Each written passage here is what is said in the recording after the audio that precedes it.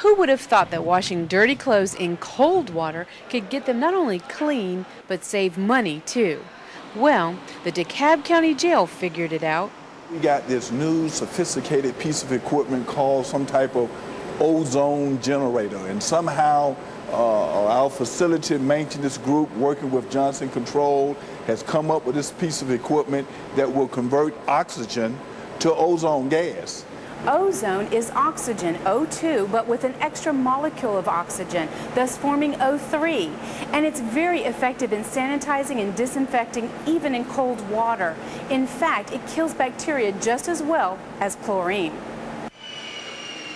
The ozone gas will go into the washing machine.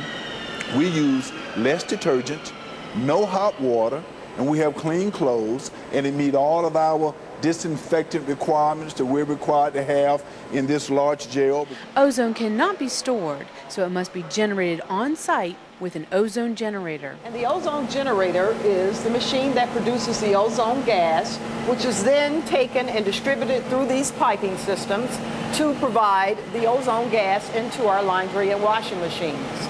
The ozone gas actually acts as an oxidant where it oxidizes the water to break up the bacteria and the, uh, any contaminants, the dirt, uh, in order to cleanse the clothes. It's an odor-free or an odorless type of product, so it doesn't leave any residual smell or um, film. Now, perhaps you're curious what the inmates think about the new wash. They're telling me that they notice a big difference in the softness of the fabric and the smell of the fabric. This may be the first time you're hearing about the commercial use of ozone, but it's been around for more than two decades, and it has a number of uses. They've actually used it to revitalize some lakes and ponds that were traditionally dead and full of contaminants. The ozone project at the jail was completed in May this year, and it's already starting to pay off.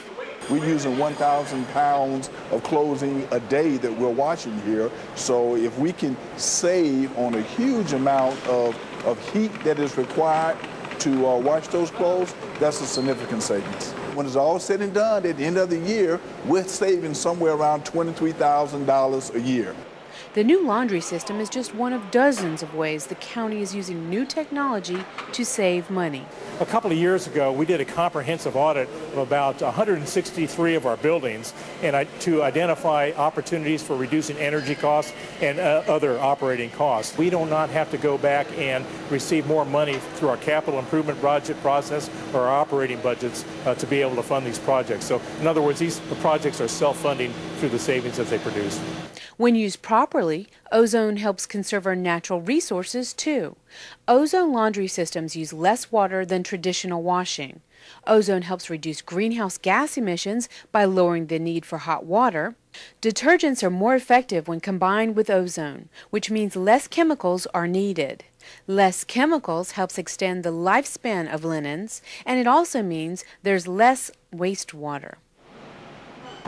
This new ozone laundry system is just another example of DeKalb County thinking outside of the box and being more effective and more efficient. Reporting from the laundry room at DeKalb County's jail for DCTV, I'm Aviva Hoffmann.